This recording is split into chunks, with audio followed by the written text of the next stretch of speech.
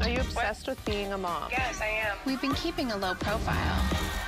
And my sisters and I are closer than ever. You don't do the You're just a bitch. Get the out of here. I don't go. It's like we can communicate without speaking. Shut the up.